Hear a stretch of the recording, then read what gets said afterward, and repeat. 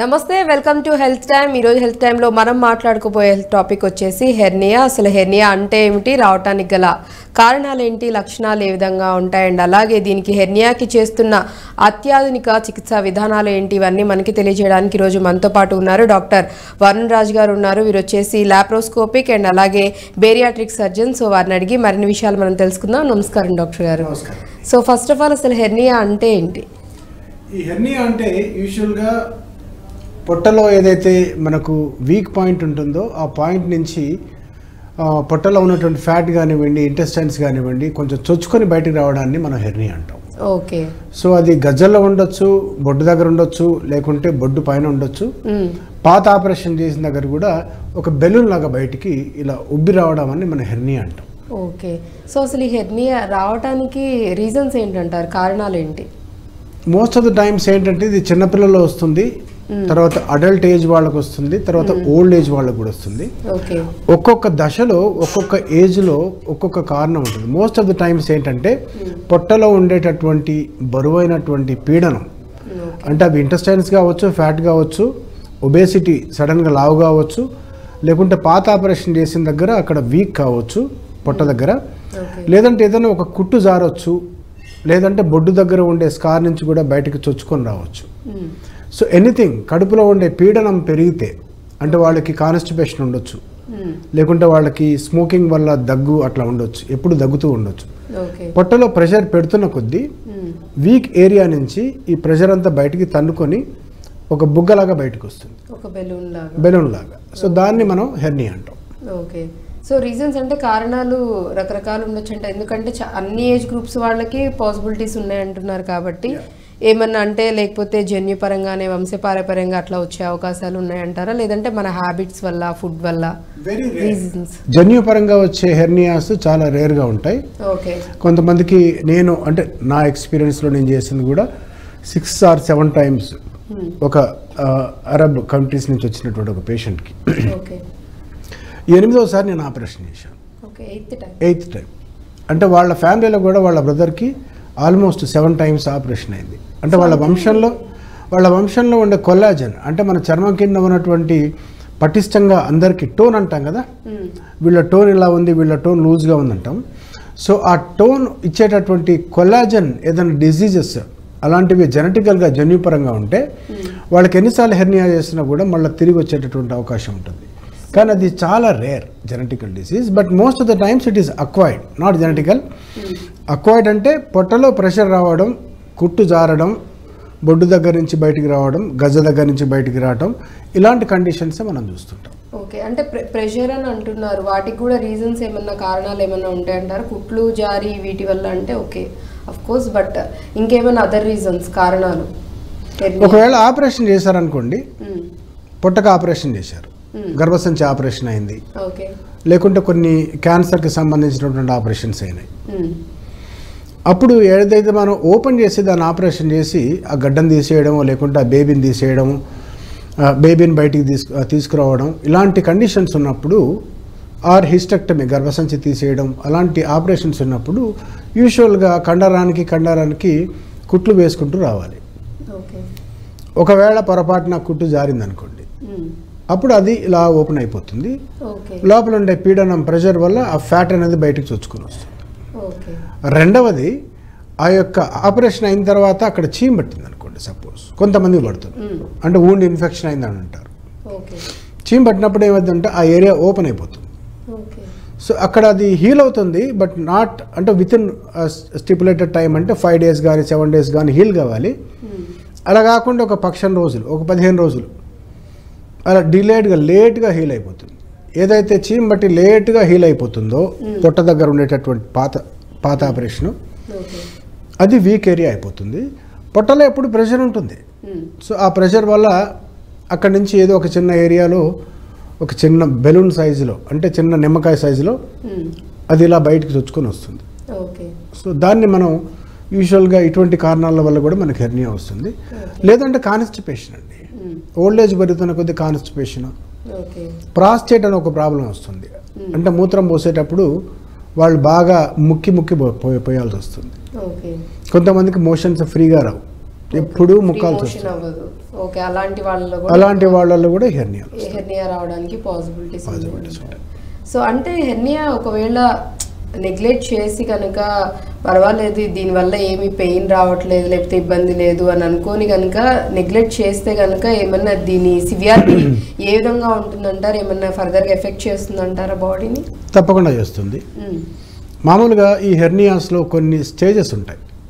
Okay stages or types of hernia కూడా types కూడా ఉంటాయి. టైప్స్ అంటేనేమో మనకు ఆ పొట్ట భాగంలో సి హెర్నియా అంటే ఎనీథింగ్ పొట్టలో ఉండే ప్రెషర్ బయటకు. చొచ్చుకుంటూ రావడం. అది పొట్ట బొడ్డు దగ్గర కావచ్చు లేకుంటే నడుం దగ్గర కావచ్చు. లేకుంటే గజ్జల్లో కావచ్చు. మ్మ్. కొంతమందికి మోషన్ వచ్చే ఏరియాస్లో ప్రైవేట్ పార్ట్స్లో కూడా చొచ్చుకొని రావచ్చు. కూడా రావచ్చు. సో ఇలాంటి హెర్నియాస్లో టైప్స్ ఆ ఏరియా బట్టి దాని పేర్లు ఉంటాయి ఓకే బొడ్డు దగ్గర ఉంటే దాన్ని అంబలికల్ హెర్నియా అంటాం. మ్మ్. బొడ్డు పైన ఉంటే దాన్ని సూపర్ అంబలికల్ హెర్నియా అంటాం. ఓకే ఇంకొంచెం పైకి ఉంటే దాన్ని ఎపిగాస్టిక్ హెర్నియా అంటాం. ఈ బొడ్డు కింద ఉంటే ఇన్ఫ్రా అంబలికల్ హెర్నియా అంటాం. ఆర్ హైపోగాస్టిక్ హెర్నియా అంటాం. గజ్జ కిందకి వస్తే దాన్ని మళ్ళీ ఇంగ్వనల్ హెర్నియా అంటాం. ఇంకా తొడ దగ్గరికి వస్తే దాన్ని ఫిమోరల్ హెర్నియా అంటాం. ఒకసారి కిడ్నీ ఆపరేషన్ అవుతుంది వాళ్ళకి. మ్మ్. దాన్ని లంబార్ హెర్నియా అంటాం. పొట్టలో ఏ ఏరియాలో అయినా కూడా పాత ఆపరేషన్ జరిగితే దాన్ని ఇన్సిషనల్ హెర్నియా అంటాం. ఓకే. సో దీన్ని మనం ఆ యొక్క ఏరియాస్ని బట్టి అంటాం. బట్టి వాటి నేమ్స్ కొంతమందికి పిరుదుల దగ్గర కూడా వస్తుంది. దాన్ని గ్లూటియల్ హెర్నియా అంటాం. కొంతమంది ప్రైవేట్ పార్ట్స్ కింద వస్తుంది. దాన్ని ఐ మీన్ ఆప్టిరేటర్ హెర్నియా అంటాం. అంటే కింది భాగంలో మ్మ్. సో ఇలా డిఫరెంట్ డిఫరెంట్ ఏరియాస్ని బట్టి మనకు దాని పేర్లు ఉన్నాయి ఓకే అట్లనే వాటిలో దశలు ఉన్నాయి ఓ కూడా. Types okay stages wise wise గా ఉంటాయి. ఓకే అంటే ఎన్ని స్టేజెస్లో ఉంటుందంటారు దీనిది? గ్రోత్ కానివ్వండి. లేకపోతే దీని ఎఫెక్ట్ కానివ్వండి బాడీ మీద? అంటే ఇది క్యాన్సర్ లాంటి స్టేజెస్ కాదు కానీ ఓకే. బిగినింగ్లో ఒక చిన్న బెలూన్ లాగా రావడం మ్మ్. ఒక నిమ్మకాయ సైజులో బయటికి రావడం ఓకే. నిలబడితే వాళ్ళకి బొడ్డు దగ్గర ఇలా ఒక స్వెల్లింగ్ బయటకు వచ్చి వస్తుకుని వస్తుంది. ఓకే. పడుకోగానే అది కిందికి వెళ్ళిపోతుంది. ఓకే లోపలికి దీన్ని. స్టేజ్ వన్ అంటాం. ఓకే. రెండో స్టేజ్లో బయటకు వస్తుంది వాళ్ళు చేతితోటి ఇలా వెనక్కి అనుకుంటారు. అప్పుడు అది లోపలికి వెళ్ళిపోతుంది. ఓకే. మూడో స్టేజ్లో బయటకు వస్తుంది బుగ్గలాగా నిమ్మకాయ సైజులో. దాన్ని వెనకాల ఇట్లా నొక్కినా కూడా లోపలికి పోదు. ఓకే. నాలుగో స్టేజ్లో సివియర్గా నొప్పితో వాళ్ళు ఇలాంటి బుగ్గ లాంటి ఒక కండిషన్తో వస్తారు. ఆ చర్మం అంతా ఆ ఏరియాలో రెడ్గా తయారవుతుంది. పొట్టంతా కూడా బిగుసుకుపోయి ఉంటుంది. ఎందుకంటే ఆ హెర్నియాలోకి ఈ పేగులు వచ్చి దాంట్లో ట్రాఫిక్ జామ్ అయినట్టుగా ఇరుక్కుపోయి ఉంటాయి. ఓకే. లాస్ట్ స్టేజ్లో ఎలా ఉంటుందంటే పేషెంట్కి అదే గ్యాంగ్రీన్ లాగా తయారవుతుంది. ఆ పేగు ఏదైతే ఇరుక్కుందో అది గ్యాంగ్రీన్ లాగా నల్లగా మాడి ఒక ఏరియాలో ఒక బుగ్గ పగిలినట్టుగా పగిలిపోయి పేషెంట్ పొట్టలోనే అంత విషం చేరి పెరిటోనైటిస్ అంటారు పెరిటోనైటిస్ అంటారు అటువంటి స్టేజెస్ కూడా మనకు వస్తారు. సో లేట్గా అవుతాయి. లాస్ట్ స్టేజ్ ఇంకా అదే. ఆ స్టేజ్. లో ఉన్న వాళ్ళు కూడా వస్తూ ఉంటారంట. సో వీటికి స్పెషల్గా అసలు చెప్పుకోవాలి అంటే మనం హెన్యా అంటే ఏంటనుకున్నాం ఏ టైప్స్లో ఉంటుంది ఎక్కడెక్కడ వస్తుందని చెప్పుకున్నాం. లక్షణాలు ఏమన్నా అంటే ప్రతిదానికి కూడా సిమ్టమ్స్ పెయిన్. అని తెలుస్తూ ఉంటాయి కదా. సో హెన్యా కూడా స్టేజెస్ వైజ్గా లక్షణాలు బయటపడతాయి అంటారా? లేకపోతే నార్మల్గా ఇనిషియల్ నుంచే తెలుస్తుంది అంటారా? బిగినింగ్లో ఆపరేషన్ అయిన తర్వాత కానీ మ్మ్. లేకుంటే వాళ్ళకి గజ్జ దగ్గర బొడ్డు దగ్గర ఒక చిన్న బొడిపెలకు కానీ వాళ్ళకి తెలుస్తూ ఉంటుంది. ఓకే చాలామంది మన ఇండియాలో ఏంటంటే నొప్పి లేదు కాబట్టి వదిలేస్తారు. ఇది కొంకుడుకాయ సైజులో మొదలు మొదలై నిమ్మకాయ సైజు అయిపోయి నిమ్మకాయ నుంచి నారింజ సైజుకి వచ్చి ఓకే. నారింజ సైజు నుంచి ఒక పుచ్చకాయ అంత సైజులో కూడా వేలాడుతున్నా జనాలు పట్టించుకోరు. అంత దాని సైజ్ అనేది ఇంక్రీజ్ అవుతుంది ఇంక్రీజ్ అవుతూనే ఉంటుంది. ఓకే. అయినా కూడా జనాలు ఎందుకు పట్టించుకోరంటే మాకు నొప్పి లేదు కదా డాక్టర్ గారు అంటారు. సో దానివల్ల ఎటువంటి ఇబ్బంది అనేది కలగట్లేదు కదా సో నొప్పి లేదు కాబట్టి మన వాళ్ళు పట్టించుకోరు. అన్ని కప్పేసుకుంటారు. చీరల్లో కప్పేస్తారు లేకుంటే లుంగిల్లో కప్పేస్తారు. ఎందుకు? దాన్ని గుప్తరోగం అనుకొని ప్రైవేట్ పార్ట్స్లో ఏంది చూపిస్తే బాగుండదు అనుకొని అనుకుంటారు. వన్స్ నొప్పి స్టార్ట్ అయింది పొట్టంతా ఉబ్బింది. వాంతులు స్టార్ట్ అయ్యాయి. అలాంటి కండిషన్స్లో వాళ్ళు చాలామంది డాక్టర్స్ని సంప్రదిస్తారు. ఓకే. కానీ ఇప్పుడు జనరేషన్ అంతా మారిపోయింది. చాలామంది యూత్ వాళ్ళ బిగినింగ్ స్టేజ్లోనే వాళ్ళు గుర్తుపట్టి డాక్టర్ గారిని సంప్రదిస్తున్నారు. ఓకే బిగినింగ్లో వచ్చేటటువంటి హెర్నియా ట్రీట్మెంట్ చాలా ఈజీ. ఓకే అండ్ గ్యారంటీ ఉంటుంది వాళ్ళకి. మ్మ్. మళ్ళీ వచ్చే అవకాశం కూడా చాలా తక్కువగా ఉంటుంది. ఓకే బిగినింగ్ స్టేజ్లో వస్తే. ఓకే. ఎందుకంటే యాక్చువల్లీ ఇప్పుడు నాకు ఇంకొక డౌట్ కూడా వచ్చింది. మీరు ఇందాక ఒక పేషెంట్ది చెప్పారు. Seven times Yeah. వాళ్ళకి వచ్చింది. సెవెన్ టైమ్స్ మీరు seventh నేను ఓకే. సెవెంత్ మీరు చేశారు. అంటే అన్ని సార్లు ఇది రిపీటెడ్గా వస్తూనే ఉంటుందంటారా? అంటే ఎండ్ అనేది ఉండదా? లేకపోతే మన హ్యాబిట్స్ వల్ల మనం ట్రీట్మెంట్స్ ఎన్నిసార్లు చేయించుకున్నా అగైన్ అండ్ అగైన్ మన హ్యాబిట్స్ వల్ల ఫుడ్ వల్ల సమ్ అదర్ రీజన్స్ వల్ల మళ్ళీ ఇది రిపీట్ అవడానికి ఛాన్సెస్ ఎక్కువ ఉన్నాయంటారా? అంటే ఈ రికరెన్స్ అనేది మనం చూస్తూనే ఉంటాం. రికరెన్స్ రికరెన్స్ అనేది ఒకసారి రావచ్చు లేకుంటే రెండు మూడు సార్లు కూడా రావచ్చు. రకరకాల కారణాల వల్ల రావచ్చు. ఓకే రాకుండా అంటే ఒకసారి వస్తే మళ్ళీ రాదని అనుకోవడానికి లేదు. అంటే రికరెన్స్ అనేది హెర్నియాలో ఉంటుంది. ఓకే. కానీ చేసేటటువంటి సర్జన్ తర్వాత ఈ కరెక్ట్గా దాన్ని మెష్ పెట్టడం అనేది చాలా ఇంపార్టెంట్. రైట్. ఆ హెర్నియా అంటే ఒక డిఫెక్ట్. ఆ ఏరియాలో మనకు చిన్న రంధ్రం ఏర్పడింది. ఆ రంధ్రం దగ్గరికి వెళ్ళి మనం కరెక్ట్గా డిసెక్షన్ చేసి కరెక్ట్గా పెద్ద సైజులో మెష్ని అడ్డం పెట్టేసి ఆ మెష్ని మనం యాంకర్ చేసుకొని అప్పుడు వచ్చినప్పుడు మోస్ట్ ఆఫ్ ద టైమ్స్ మళ్ళీ వచ్చే అవకాశం లేదు. ఓకే. వెరీ రేర్లీ ఇంతకుముందు మీకు చెప్పినట్టుగా జెనెటికల్గా కొల్లాజన్ డిసీజ్ ఉంది వాళ్ళకి. లేకుంటే అది పాతది సీమ్ పట్టేసింది ఇన్ఫెక్షన్ వచ్చింది. వాళ్ళకి మళ్ళీ వచ్చే అవకాశం ఉంటుంది. ఓకే. అండ్ దీనికోసం అంటే నిర్ధారణ కోసం హెర్నియానే అని నిర్ధారించుకోవడానికి ఎటువంటి టెస్ట్లు చేస్తారు? వేటి ద్వారా కన్ఫర్మేషన్ అనేది ఇవ్వడం జరుగుతుంది మీరు? మోస్ట్ ఆఫ్ ద టైమ్స్ వాళ్ళు వచ్చినప్పుడు పేషెంట్ని ఎగ్జామిన్ చేయాలి. రైట్ వాళ్ళ కన్సెంట్ తీసుకొని we need to examine abdomen. Hernia site ఎక్కడుంటే ఆ సైట్ని మనం ఎగ్జామిన్ చేయాలి. ఓకే చేసి అది డైరెక్ట్ హెర్నియానా ఇండైరెక్ట్ హెర్నియానా ఓకే తర్వాత టైప్ ఆఫ్ అంటే ఏ టైప్ ఏ టైప్ ఆఫ్ హెర్నియా ఉంది. ఓకే తర్వాత దాంట్లో కంటెంట్స్ చెప్పాను బుగ్గలాగా ఇలా చొచ్చుకొని వస్తుందని చెప్పానుగా దాంట్లో మరి ఫ్యాట్ ఉందా? లేకుంటే దాంట్లో ఇంటెస్టైన్స్ ఉన్నాయా? ఓకే? అది కూడా చూడాలి. రైట్ ఆ పేగులు కూడా ఎలా ఉన్నాయి? చిన్న పేగులు ఉన్నాయా? పెద్ద పేగులు ఉన్నాయా? ఇలా ఇది కూడా చూసుకోవాలి. ఇది ఫిజికల్ ఎగ్జామినేషన్లో మనకు తెలుస్తుంది. ఓకే సో ఫిజికల్ ఎగ్జామినేషన్ అయిపోయిన తర్వాత the basic investigations because that is very important మన సర్జికల్ ప్లాన్ అనేది ఆ కరెక్ట్ డయాగ్నోసిస్ దానికి ఒక పేరు రావాలి. ఓకే అది రావడానికి మనం స్కానింగ్ చేయిస్తాం so that scanning is ultrasound abdomen okay so ultrasound స్కాన్లో తెలుసుకోవచ్చు తెలుసుకోవచ్చు. దాంట్లో. పేగులు ఉన్నాయా ఫ్యాట్ ఉందా? మ్మ్. పెద్ద పేగులు ఉన్నాయా చిన్న పేగులు ఉన్నాయా తెలుస్తాయి దాంట్లో. ఓకే అది చూసిన తర్వాత then will go for a CT scan okay ఇది సిటీ స్కాన్ అందరికి చేయము ఓకే. అందరికి అల్ట్రాసౌండ్ అయితే నార్మల్గా అందరూ. చేసుకోవచ్చు. సిటీ స్కాన్ మాత్రం కంపల్సరీ అంటే మీరు ఫైనలైజ్ చేసిన తర్వాత అంటే డాక్టర్ సజెస్ట్ చేస్తేనే మళ్ళీ అగైన్ సిటీ స్కాన్కి వెళ్ళడానికి ఉంటుంది. సిటీ స్కాన్కి కొన్ని ఇండికేషన్స్ ఉన్నాయి. ఓకే. పొట్ట అనేది కొంచెం లూజ్గా ఉంది. మ్మ్. తర్వాత హెర్నియా చాలా పెద్దగా ఉంది. ఒక వాటర్ మెలాన్ సైజులో ఉంది. దీన్ని లాస్ ఆఫ్ డొమైన్ అంటాం. ఓకే. అంటే వాళ్ళకి పొట్టలో ఉండాల్సినటువంటి ఈ పేగులన్నీ కూడా బయట వేలాడుతూ ఒక పుచ్చకాయ సైజులో బయట సపరేట్గా వేలాడుతున్నాయి. ఓకే. సో దాన్ని లాస్ ఆఫ్ డొమైన్ అంటాం. అలాంటప్పుడు ఆ కండరాలన్నీ కూడా డిస్టర్బ్ అయి ఉంటాయి. సో ఆ కండరాల్ని పొట్టలో ఉండే కండరాల్ని స్టడీ చేయడానికి ఈ. సిటీ స్కాన్ మనకు అవసరం పడుతుంది. సో సిటీ స్కాన్ కూడా ఎందుకంటే యాక్చువల్లీ ఇది కూడా చాలా చక్కగా సార్ చెప్పారు. ప్రతి ఒక్కళ్ళు కూడా కొంచెం హెర్నియాతో సఫర్ అయ్యే వాళ్ళు ఇమీడియట్గా సిటీ స్కాన్ చేయించుకోవాలేమో ఇదే రిక్వైర్మెంట్ ఏమో ఫస్ట్ ఇనీషియల్లే అదే చేయించుకోవాలని అనుకుంటారు కాబట్టి. సో అది డిపెండ్స్ అని చెప్తున్నారు. ఫస్ట్ అయితే అల్ట్రాసౌండ్ చేయించుకోవాల్సి ఉంటుంది. ఇది కూడా ఈవెన్ డాక్టర్ వాళ్ళు సజెస్ట్ చేసి వాళ్ళు కన్ఫర్మేషన్ ఇచ్చాకే మీరు ఫర్దర్గా ఏ టెస్ట్లు చేయించుకోవాలనేది వాళ్ళు కన్ఫర్మేషన్ ఇచ్చాకే మీరు చేయించుకోవాల్సిన అవసరం పడుతుంది. అదర్వైజ్ లేదు అంటే కూడా వాళ్ళే చెప్తారని క్లియర్గా చెప్తున్నారు. సో ఇది కూడా ప్రతి ఒక్కళ్ళు గమనించగలరు. రైట్ అండ్ అలాగే హెన్యా విషయానికి వచ్చేసి ఏడబ్ల్యూఆర్ అంటే ఏంటంటారు? ఏడబ్ల్యూఆర్ అంటే అబ్డామినల్ వాల్ రీకన్స్ట్రక్షన్. అంటే మనకు పొట్టలో మామూలుగా మధ్యలో సిక్స్ ప్యాక్ మజిల్స్ ఉంటాయండి. దాన్ని మనం రెక్టస్ అబ్డామినిస్ మజిల్ అంటాము. కుడి వైపు ఒకటి ఉంటుంది లెఫ్ట్ వైపు ఒకటి ఉంటుంది. పెళ్ళి కాకముందు స్ట్రైట్గా ఉంటుంది పెళ్ళి అయిన తర్వాత వంగిపోయి లూజ్ అయిపోతుంది. ఓకే. చాలా మందికి. బొడ్డు దగ్గర ఎప్పుడు కూడా బొడ్డు అనేది న్యాచురల్గా మదర్ నుంచి మనకు బొడ్డు తాడు తెగుతా తెంపేస్తారు కదా? అవును. సో ఆ బొడ్డు అనేది ఎప్పుడు వీక్ ఏరియా ఓకే. పొట్టలో ఉండేటటువంటి ఈ యొక్క ప్రెషర్ అంతా కూడా బొడ్డు ద్వారా బయటికి ఎప్పుడు తన్నుకొని రావాలని ట్రై చేస్తుంది. ఓకే. ఎవరికైతే ఈ మజిల్ ఈ సెంట్రల్గా ఉండే మజిల్.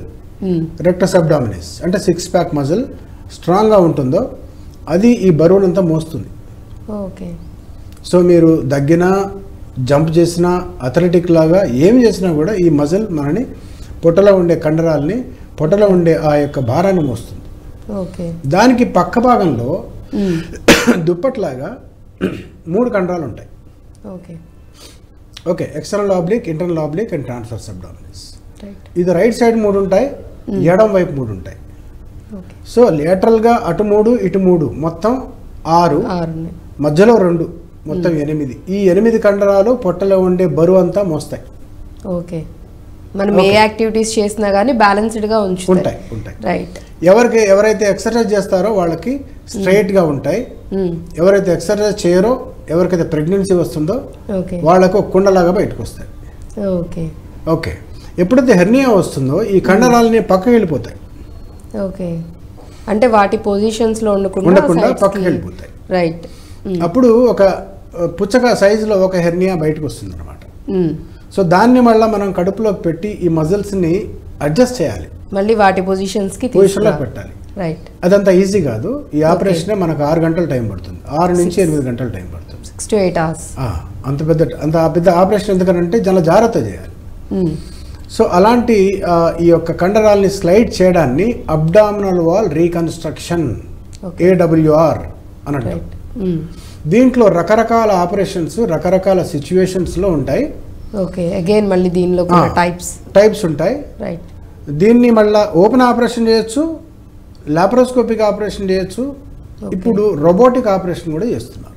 ఓకే ఇప్పుడు ఎక్కువగా ఏ ఏ type of operations use depends upon depends upon the patients condition okay patient condition బట్టి డిపెండ్ ఒకవేళ ఆ హెర్నియల్ డిఫెక్ట్ అనేది చాలా పెద్దగా ఉంది. మోర్ దెన్ టెన్ సెంటీమీటర్స్ ఉంది. ఓకే తర్వాత దీన్ని ప్రీ ఆప్టిమైజేషన్ అంటాం అంటే రెండవ రెండవ సెకండ్ అబ్డామిన్ అంటే ఒక పుచ్చకాయ లాంటిది బయటకు వచ్చినప్పుడు దాంట్లో ఉండే కంటెంట్ని మళ్ళీ మెయిన్ అబ్డామినల్ వాల్కి పెడితే ఆ ప్రెషర్ ఈ ప్రెషర్ రెండు కలిసి Mm. పొట్టలో మొత్తం ప్రెషర్ వచ్చేసి పేషెంట్కి ఆపరేషన్ తర్వాత గాలి తీసుకోకపోవడం ఇటువంటి ప్రాబ్లమ్స్ వస్తాయి. సో దానికోసం ఈ బొట్టులు ఉండమంటారుగా? అటువంటి ఇంజెక్షన్ కొంచెం ఇచ్చేసి పొట్టని కొంచెం లూజ్గా చేసి దాని తర్వాత కొన్ని వారాల తర్వాత మళ్ళీ ఆపరేషన్ చేస్తాం ఓకే ఇమ్మీడియట్గా కూడా గా. దీనికి ప్రాసెస్ కూడా చాలా ఉంటుంది. ఉంటుందంటారు అది కూడా అగైన్ డిపెండ్స్. పేషెంట్ కండిషన్ని బట్టి. దానికి వచ్చిన ఏ టైప్ ఆఫ్ హెర్నియా వచ్చింది ఎక్కడ వచ్చింది అనే దాన్ని బట్టి ఉంటుంది అంటున్నారు పేషెంట్ ఫిట్గా ఉన్నారనుకోండి జనరల్ Okay. అనస్థీషియాకి Mm. అప్పుడు లాప్రోస్కోపీ రోబోటిక్ చేసేయచ్చు ఓకే కానీ laparoscopic robotic or open operation ఏదున్నా కూడా ఏడబ్ల్యూఆర్ అంటే పొట్టలో ఉండే కరెక్ట్గా ఆ మజిల్స్ని స్లైడ్ చేసి మధ్యలోకి మళ్ళీ అతికించడం. ఒక thirty by thirty or thirty or fifty centimetres పెద్ద మెషిని కడుపులో ఎంత వైశాల్యం ఉందో అంతవరకు దాన్ని పెట్టడం. ఓకే. సో దీనివల్ల మళ్ళీ వాళ్ళకి రెక్కరెన్స్ రాదు. పెద్ద మెష్ పెడతాం. ఎందుకంటే ఆల్రెడీ కండరాలను కూడా వీక్ అయిపోయినాయి అండ్ స్లైడ్ అయిపోయినాయి దూరం దూరం జరిగినాయి. వాటిని మళ్ళీ మనం దాన్ని అప్రాక్సిమేట్ చేయాలి. చేసినప్పుడు దానికి ఆ సపోర్ట్ ఉండాలి వెనకాల. ఆ సపోర్టే మెష్ అన్నమాట. మెష్ అంటే ఏం లేదండి. పాలీప్రొపిలిన్ అని ఒక ఒక రసాయనం ఉంటుంది. దాంతో తగ్గట్టుగా ఈ మస్కిటో నెట్స్ ఉంటాయి కదా? అలాంటి నెట్ లాగా ఉంటుంది అనమాట బట్ మస్కిటో నెట్ కాదు ఇది. సో అంటే రిఫరెన్స్కి మనకి Reference కి.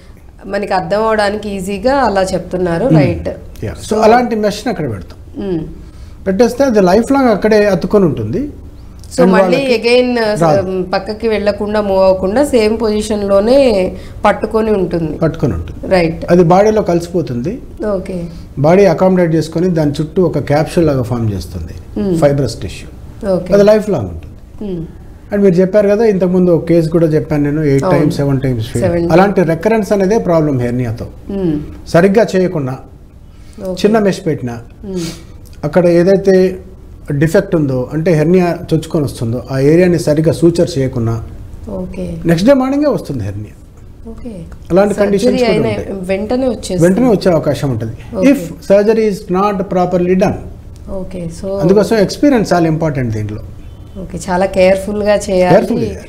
అండ్ అంత ఈజీగా సింపుల్గా అయిపోయేది కూడా కాదని చెప్తున్నారు కాబట్టి సో ఏ మాత్రం కొంచెం అటు ఇటు అయినా మళ్ళీ అగైన్ ఇమీడియట్గా నెక్స్ట్ డేకే వచ్చే ఛాన్సెస్ ఉన్నాయని కూడా చెప్తున్నారు. అండ్ ఇంకొక డౌట్ కూడా ఉంది డాక్టర్ గారు. ఇప్పుడు ఈ హెర్నియా ఏదైతే మీరు చెప్తున్నారో బెలూన్ లాగా బయటికి మనకి అలా ఉబ్బి వచ్చినట్టు కనిపిస్తుందని దీనిలో ఓన్లీ ఫ్యాట్తోనే ఫామ్ అవుతుందంటారా? లేకపోతే ఎయిర్తో ఫిల్ అయి ఉంటుందంటారా?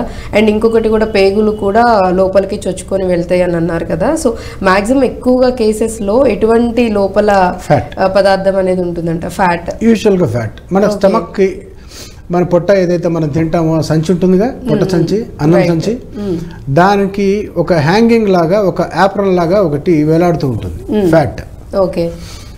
సన్నగా ఉన్న వాళ్ళకి చిన్నగా ఉండొచ్చు లావుగా ఉండే వాళ్ళకి చాలా పెద్దగా ఉండొచ్చు. ఓకే. సో దాన్ని ఒమెంటం అంటాం. ఒమెంటం. ఒమెంటాన్ని మనం అబ్డామినల్ పోలీస్ మ్యాన్ అంటాం. ఓకే. ఎక్కడ ఇన్ఫెక్షన్ అయినా కూడా అది టక్కున పోయి ఒక గమ్లాగా అతుక్కుంటుంది. పేగ్ కానీ అపెండిక్స్ కానీ. కోలాన్ కానీ మ్మ్. ఎక్కడైతే గడబడి ఉందంటే అది అక్కడికి వెళ్ళి అతుక్కుంటుంది. జస్ట్ లైక్ మన పోలీస్ వాళ్ళు ఎట్లా వెళ్తారో ఆ విధంగా రైట్ బాడీలో ఆ డిజైన్ ఉంటుంది. దాన్ని abdominal I mean cavity policeman అంటారు. Right so omentum is the commonest content. A hernia చూసుకున్నా కూడా ఈ ఫస్ట్ ఈ ఒమెంటం వచ్చి దూరుతుంది.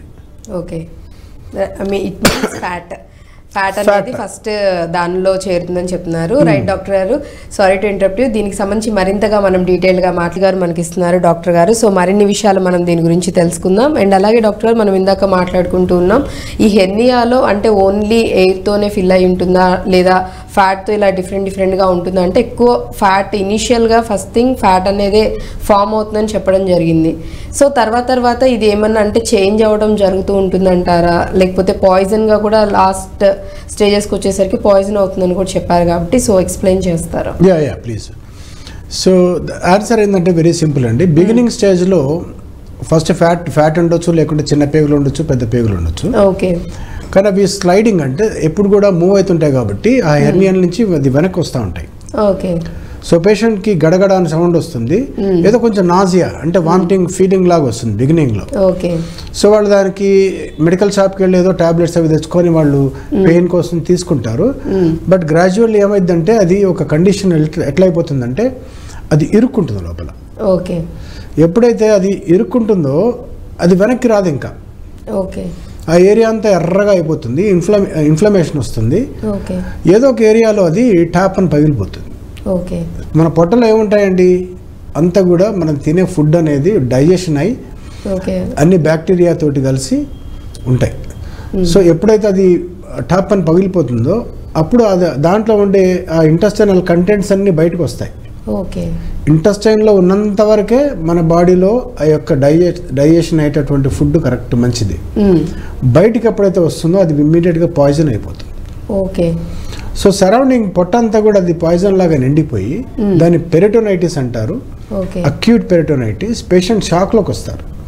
ఓకే షాక్ బాడీ అంతా కూడా రియాక్షన్ అయిపోతుంది. ఆ పొట్టలో అన్ని కూడా నీళ్ళు వస్తాయి.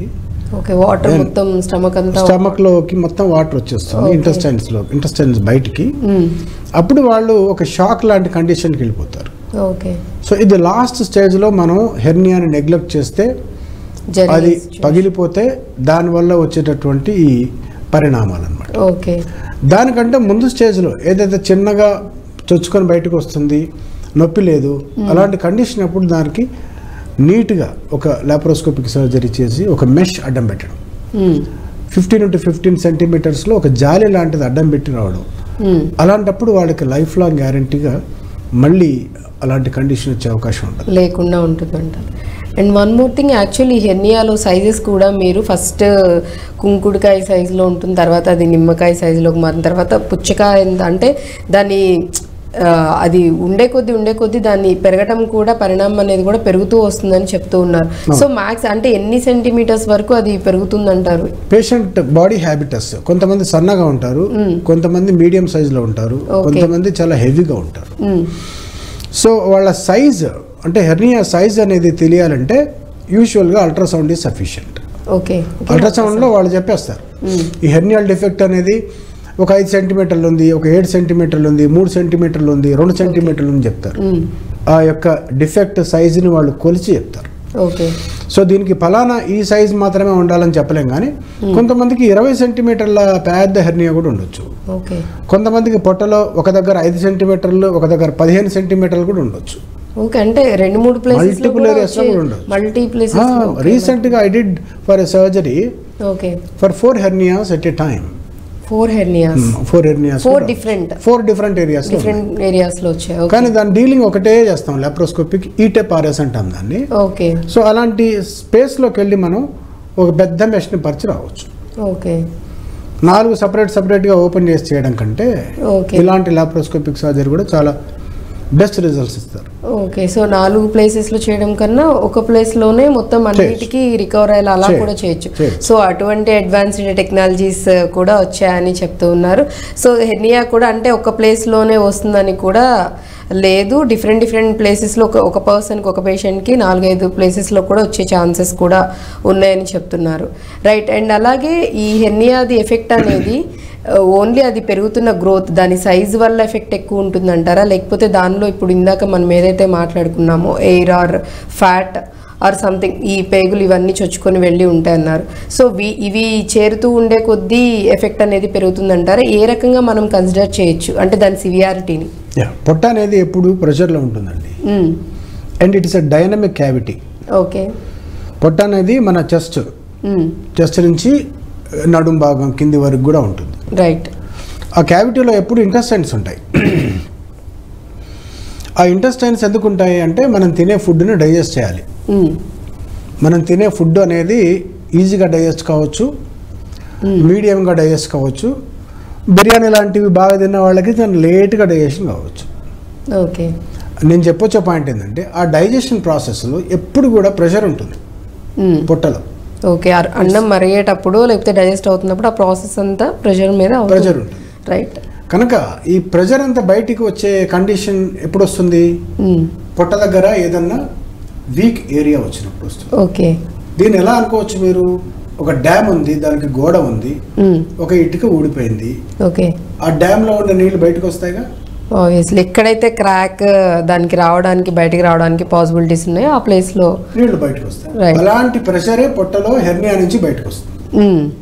And it's a continuous process okay నేను దాన్ని నయం చేస్తాను లేకుంటే దాన్ని ప్రాణాయామం చేస్తాను యోగా చేస్తాను నయం చేసుకుంటాను నేను చేస్తాను అన్న ఎవరైతే చెప్తారో it's all nothing but false information okay వీటి వల్ల క్లియర్ అవ్వదని క్లియర్గా ఓకే క్లియర్ కావాలంటే ఆ పొట్ట కండరాల్ని మనం దగ్గరికి అప్రాక్సిమేట్ చేయాలి. ఓకే.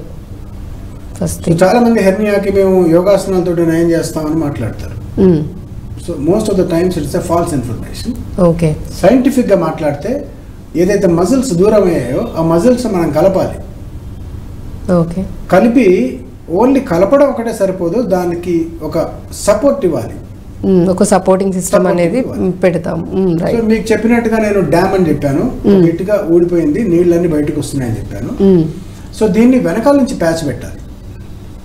రైట్ ఆ ఇటుకను పెట్టి మళ్ళీ వెనకాల నుంచి ప్యాచ్ ప్యాచ్ పెడితే సపోర్టింగ్ లాప్రోస్కోపిక్ అలా కాకుండా ఆ గోడకి ఇటుకను పెట్టి బయట నుంచి ఒక ప్యాచ్ పెట్టామనుకోండి దాన్ని ఓపెన్ ఆపరేషన్ అంటాం. ఓకే. ప్యాచ్ పెట్టడం అనేది హండ్రెడ్ పర్సెంట్ రిక్వైర్డ్ అంటే.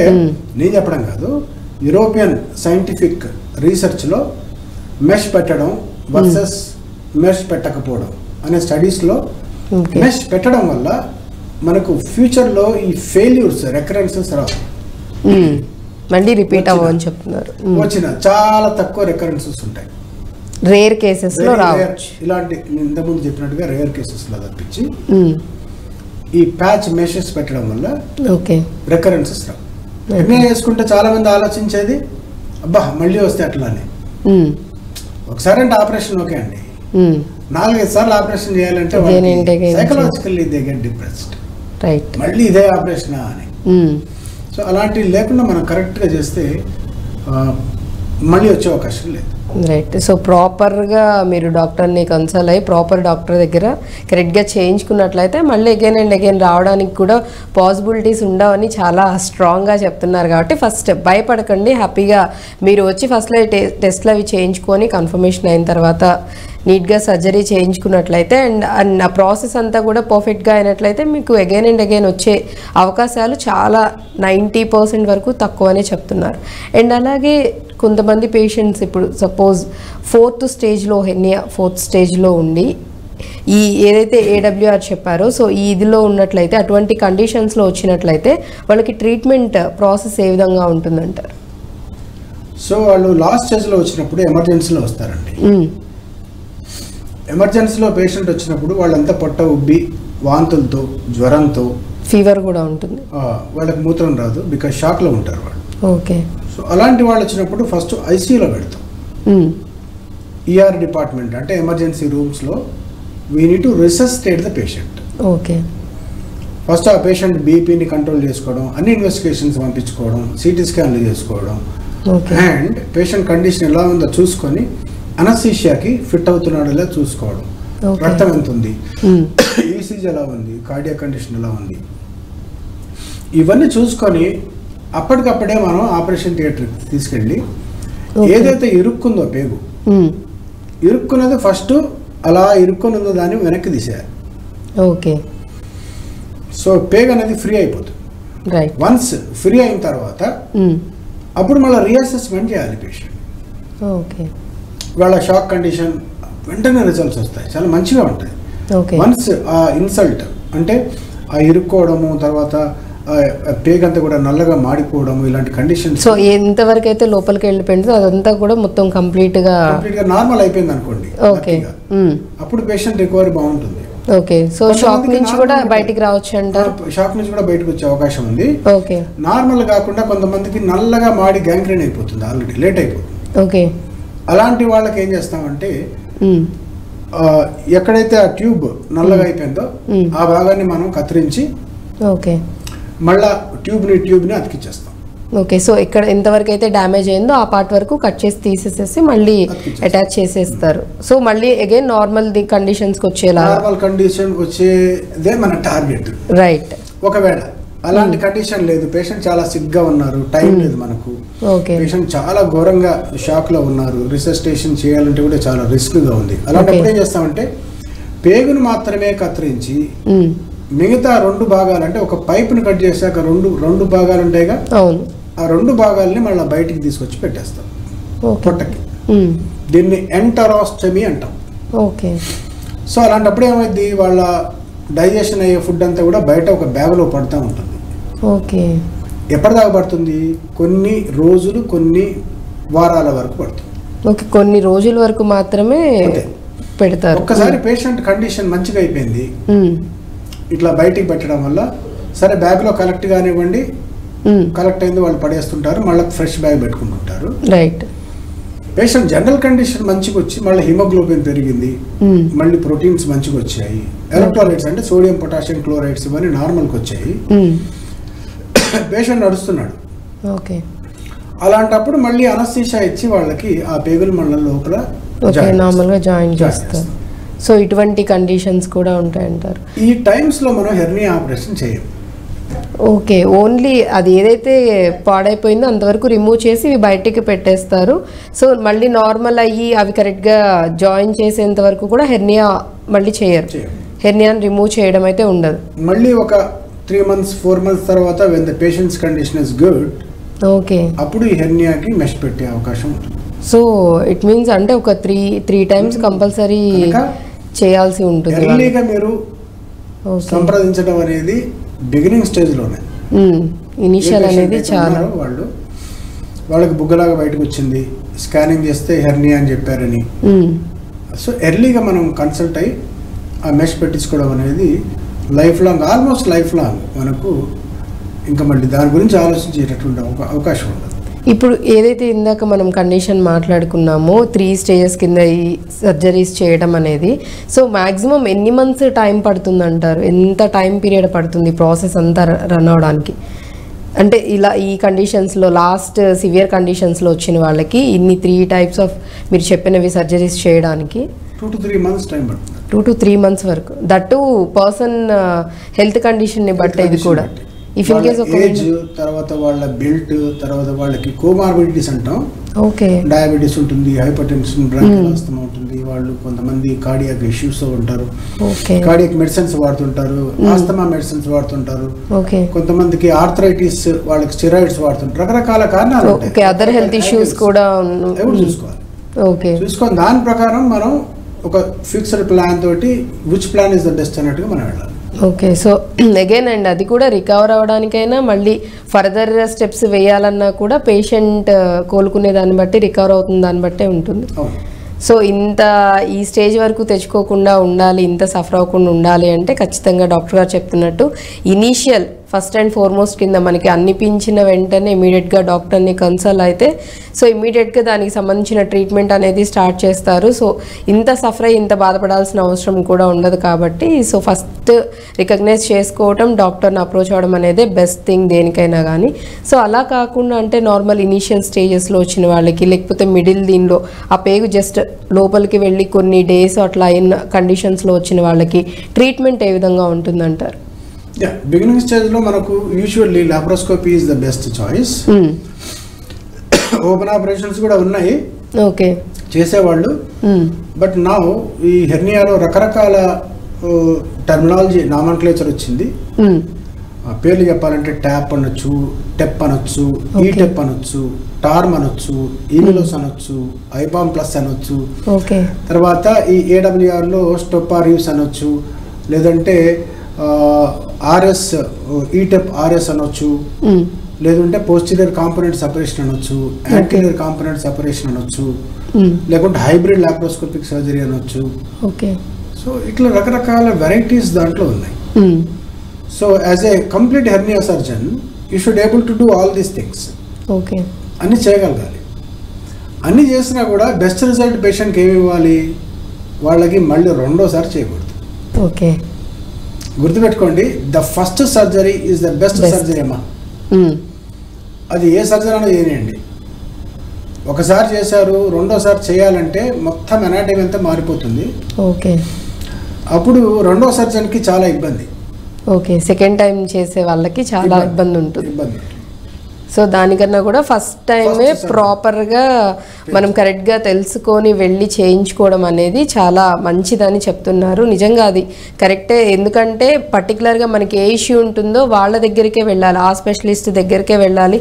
వాళ్ళని అప్రోచ్ అవ్వాలి. సో వాళ్ళకి ఈచ్ అండ్ ఎవ్రీథింగ్ దానికి సంబంధించి కంప్లీట్ నాలెడ్జ్ ఉంటుంది కాబట్టి మీకు వచ్చింది ఏ టైప్ ఆఫ్ హెర్నియా అనేది తెలుస్తుంది అండ్ ఎక్కడొచ్చిందో చూసుకొని అండ్ దాని సైజ్ ఎంత ఉంది ఇవన్నీ కూడా వాళ్ళు అన్ని క్యాలిక్యులేషన్స్ చేసుకొని అండ్ మన బాడీ తత్వాన్ని బట్టి మన హెల్త్ కండిషన్స్ని బట్టి ఇప్పుడు యాక్చువల్లీ చెప్పారు. చాలామంది అంటే రకరకాల అదర్ హెల్త్ ఇష్యూస్తో కూడా వచ్చే వాళ్ళు కూడా ఉంటారు. సో అవన్నీ కూడా దృష్టిలో పెట్టుకొని వాటిని కూడా బ్యాలెన్స్ చేసుకుంటూ చేయాల్సి వస్తుందని. సో ఇన్ని చూస్తారు కాబట్టి సో కంపల్సరీ మనకి ఏదన్నా హెల్త్ ప్రాబ్లం వచ్చిందంటే ఆ పర్టికులర్ హెల్త్కి సంబంధించిన స్పెషలిస్ట్ దగ్గరికి వెళ్ళడం అనేది కరెక్ట్ థింగ్. అండ్ అది కూడా త్వరగా వెళ్ళాలి. ఎందుకంటే నెగ్లెక్ట్ చేసే కొద్దీ ఏ హెల్త్ ఇష్యూ అయినా సరే అది పెరిగే కొద్దీ పెరిగే కొద్దీ కూడా ఇంకా ఎక్కువైపోయి ప్రాణాంతకాలు కూడా అవుతూ ఉంటాయి కాబట్టి సో ఇనీషియల్లోనే చేయించుకోవడం అనేది మంచిది. అండ్ అలాగే డాక్టర్ గారు మీరు చెప్పడం జరిగిందంటే రకరకాల డిఫరెంట్ డిఫరెంట్ ప్లేసెస్లో వస్తాయి డిఫరెంట్ డిఫరెంట్ టైప్స్ అని కూడా మీరు చెప్తున్నారు. మోస్ట్ కేసెస్లో ఎక్కువగా ఏ ప్లేస్లో వచ్చింది ఎక్కువగా సివియారిటీ ఎక్కువ ఉంటుంది. అండ్ ఏ విధంగా దానికి ట్రీట్మెంట్ అనేది ఉంటుందంటారు? యూజువల్గా కామనెస్ట్ మ్మ్. వరల్డ్ వైడ్గా చూసుకున్నా కూడా. గజ్జా అనేది ఒక area that is. Called inguinal hernia అంటాం ఓకే తర్వాత బొడ్డు దగ్గర బొడ్డు దగ్గర కూడా కొంచెం బొడ్డు దగ్గర కూడా కామన్ గానే వస్తుంది ఓకే ఎప్పుడైతే పాత ఆపరేషన్లు చేస్తారో. కుట్లేసి ఆ కుట్టు జారిందో మ్మ్. దాన్ని ఇన్సిస్టెంట్ హెర్నియా అంటారు కదా రైట్ అవి పెద్దగా ఉంటాయి. ఎందుకంటే ఒక్క కుట్టు జారిందంటే మొత్తం వాళ్ళు ఎంతవరకు ఓపెన్ చేశారో అంతవరకు కూడా వీక్ అయ్యే అవకాశం ఉంటుంది ఓకే అవి కొన్ని సెంటీమీటర్స్ ఉండొచ్చు. సో అలాంటప్పుడు ఒక ఒక సెంటీమీటర్ రెండు సెంటీమీటర్లు ఏదైతే చిన్నగా ఉందో దాంట్లో ఫ్యాట్ ఇరుక్కుంటే పర్లేదు. ఒకటి రెండు సెంటీమీటర్స్లో ఉన్న దాంట్లో చిన్న రంధ్రంలో చిన్న పేగు పెద్ద పేగు వచ్చి ఇరుక్కుంటే మళ్ళీ అది వెనక్కి. కూడా the dangerous like especially in female ఫీమేల్స్లో femoral hernia అంటాం ఫిమరల్ హెర్నియా అంటే ప్రైవేట్ పార్ట్ తొడకి. మధ్యలో ఉండేటటువంటి ఆ యొక్క ఫోల్డ్లో వచ్చేటటువంటి హెర్నియాని మనం ఫిమోరల్ హెర్నియా అంటాం. ఓకే. ఈ ఫిమోరల్ హెర్నియాలో పెద్ద బెగ్ కానీ మూత్రాశయం కానీ మూత్రాశయం. వచ్చి ఇరుక్కునే అవకాశం ఉంటుంది. ఓకే. అండ్ అవి చాలా నొప్పితోటి కూడినటువంటి ఇష్యూస్. ఓకే. ఎంత ఫాస్ట్గా దాన్ని మనం రిలీవ్ చేస్తే. పేషెంట్కి అంత బెనిఫిట్ వస్తుంది. ఓకే. సో అంటే అది డిఫికల్ట్ కూడా అంటారా? ఇప్పుడు యాక్చువల్లీ మీరు ఇన్ని టైప్స్ ఆఫ్ హెర్నియాస్ చెప్పారు కాబట్టి ఏది ఎక్కువగా సర్జరీస్ చేయడానికన్నా ట్రీట్మెంట్ చేయడానికన్నా ఏ టైప్ ఆఫ్ హెర్నియా అనేది కొంచెం డిఫికల్ట్ అంటారు? ఏడబ్ల్యూఆర్ అనేది చాలా డిఫికల్ట్ అంటే చాలా ఏం లేదు డిఫికల్ట్ కొంచెం ఎక్కువ టైం పడుతుంది. ఓకే గుండె ఆపరేషన్ చేస్తే ఎంత టైం పడుతుంది? దీనికి అంత టైం పడుతుంది? ఓకే మీరు అందరు నవ్వచ్చు హెర్నియాకి అన్ని గంటలు ఏంటని. బట్ అంత డీటెయిల్స్ ఉంటాయి దాంట్లో. ఓకే అంత డీటెయిల్డ్గా చేయాలి లేకపోతే ఏడబ్ల్యూఆర్లో అబ్డామినల్ వాల్ రికన్స్ట్రక్షన్లో డీటెయిల్స్ ఉంటాయి. ఆ డీటెయిల్స్ని మనం జాగ్రత్తగా చేయాలన్నమాట. ఓకే. ఇది ఎలాంటిదంటే లోపల ఉండే పెరిటోనియం అంటే సన్నటి పొర ఉంటుంది. ఓకే. అది ఒకటే సెల్ మందంలో ఉంటుంది. మనం అంటేగా మైక్రోస్కోప్లో సెల్ చూస్తాం కదా? అవును. అలాంటి ఒకటే లేయర్స్ లాగా ఒక సన్నటి పొర. ఓకే. గుడ్డులో ఎలా ఉంటుందో పొర అలాంటి సన్నటి పొర ఒకటి ఉంటుంది. కింద పొట్టలో. ఓ దుప్పట్లాగా. దాన్ని డ్యామేజ్ చేయకుండా దాని ఏరియాని మొత్తం డిసెక్ట్ చేసి ఓకే. మిల్లీమీటర్స్ మిల్లీమీటర్స్ లాగా దాన్ని అలా వెళ్ళి ఓకే ఒక క్రాక్ కూడా దానికి అసలు ఇంత టచ్ అనేది కూడా లేకుండా మీరు నీట్గా చేయాలి. ఓకే. వెళ్ళి అంత పెద్ద మెష్ పదిహేను ఇంటి ఇరవై సెంటీమీటర్లు అంత పెద్ద మెష్ని ఆ ఏరియాలో పరిచి మళ్ళీ layer to layer muscle to muscle fascia to fascia fat to fat and skin to skin కలపాలి. ఓకే. అందుకే టైం పడుతుంది. ఓకే. ఎక్కడ కొంచెం తేడా వచ్చినా కూడా మళ్ళీ మెష్ అనేది డేంజర్లో ఉంటుంది. ఓకే అలా కూడా మళ్ళీ ప్రాబ్లం ఉంటుంది చాలా మందికి అవుతాయి. ఓకే. సరిగ్గా డిసెక్షన్ చేయకుండా ఉంటే మెష్ అనేది ఎక్స్పోజ్ అయిపోయి ఓకే. మళ్ళీ పీగలు కత్తుక్కోవడం రకరకాల కారణాలు ఉంటాయి దాంట్లో. ఓకే ఈవెన్ సర్జరీస్ కూడా ప్రాపర్గా అవి Surgeries కరెక్ట్గా పెట్టకపోయినా కానీ దానివల్ల కూడా ఎఫెక్ట్స్ అనేవి ఉంటాయి. కాంప్లికేషన్స్ ఉంటాయి బట్. కాంప్లికేషన్స్ ఎవరికి తక్కువ ఉంటాయో వాళ్ళకి మంచి రిజల్ట్స్ వస్తాయి. ఓకే జాగ్రత్త చేయాలి Mm. Almost we have to dedicate the time right తొందర అస్సలు పనికి రాదు ఇక్కడ అండ్ పాత పద్ధతి లాగా ఇలా లాగి దుప్పటి కుట్టినట్టుగా కుట్టకూడదు ఓకే నీట్గా surgeries an art so we need to respect each and every tissue very carefully చాలా స్మూత్గా హ్యాండిల్ చేయాలి. సో ఇలా అంటే అలా కాకుండా చాలా దట్ ఈస్ ద డిఫరెన్స్ జాగ్రత్తగా- between a experienced surgeon hmm, and a young surgeon అంటే అఫ్ Right. కోర్స్ మేమంతా యంగ్ సర్జన్స్ నుంచే ఎక్స్పీరియన్స్ కానీ ఎక్స్పీరియన్స్ వస్తున్న కొద్దీ మనకు. ఫైన్నెస్ పెరుగుతుంది. రైట్ సో ఈచ్ అండ్ ప్రతి దాని మీద డీటెయిల్గా తెలుస్తుంది అండ్ ఎంత కేర్ఫుల్గా కూడా చేస్తూ వస్తూ ఉంటారు. సో ఎక్కడ ఏ ప్రాబ్లం రావచ్చు వస్తుందన్నది కూడా ముందే తెలుసుకోగలుగుతారు. దానికి తగ్గట్టుగా చేస్తూ ఉంటారు కాబట్టి. సో ఆబ్వియస్లీ ఎక్స్పీరియన్స్డ్ వాళ్ళకి చాలా అన్నిటి మీద అవగాహన ఉంటుంది కాబట్టి సో చాలా జాగ్రత్తగా చేస్తూ ఉంటారు. ఇప్పుడు చూసుకున్నట్లయితే ఎక్కువగా హెనియా కేసెస్ మేల్స్కి ఎక్కువ వస్తుంది అంటారా ఫీమేల్స్లో ఎక్కువ వస్తుంది అంటారా? అలా ఏం లేదండి. It is common in all the ages first time నేను చెప్పాను beginning dialogue itself a age గ్రూప్లో అన్న కూడా హెర్నియా రావచ్చు. మ్, చిన్నపిల్లలు రావచ్చు జస్ట్ అలా పుట్టిన వాళ్ళకి కూడా రావచ్చు. ఓకే అండ్ ఓల్డ్ ఏజ్ వరకు ఎప్పుడైనా రావచ్చు. ఓకే. బట్ ఫిమరల్ హెర్నియా అనేది లేడీస్లో కామన్ మ్, ఇంగ్వైనల్ హెర్నియా అనేది గజ్జ దగ్గర వచ్చేది కామనెస్ట్ ఈ అందరిలో కామనెస్ట్ అదే. ఎక్కువ కామన్గా వచ్చింది. అండ్ బొడ్డు దగ్గర వచ్చే అంబలికల్ హెర్నియా కూడా చాలా కామన్ తర్వాత ఆ పాత ఆపరేషన్ చేసిన తర్వాత కుట్టు జారడం ఇన్సిస్టల్ హెర్నియా కూడా కామన్ ఓకే. సో రే అంటే కామన్గా ఏవే హెర్నియాస్ వస్తున్నాయి ఎలా వస్తున్నాయి అనేది కూడా చెప్పారు కాబట్టి. అండ్ ఇంకొకటి కూడా అంటే దీనికి కూడా భయపడవద్దు అలా అని నెగ్లెక్ట్ చేసి లేట్ కూడా చేయొద్దని చెప్తున్నారు కాబట్టి ఒకవేళ ఈ సమస్యతో బాధపడుతున్నట్లయితే చూసినట్లయితే ఖచ్చితంగా మీరు డాక్టర్స్ని కన్సల్ట్ అవ్వండి ట్రీట్మెంట్ తీసుకోండి. దాన్ని బట్టి ఫర్దర్గా వాళ్ళు ఏం సజెస్ట్ చేస్తారో దాన్ని ఖచ్చితంగా ఫాలో అవ్వండి. And before that thank you so much doctor గారు. థ్యాంక్ యూ సో మచ్ చాలా నీట్గా డీటెయిల్గా ఎక్స్ప్లెయిన్ చేశారు. థ్యాంక్ యూ సో చూశారు కదా ఇది వాళ్ళ హెల్త్ టైం. రేపు మరో టాపిక్తో మళ్ళీ మీ ముందుంటాను. Keep watching I dream news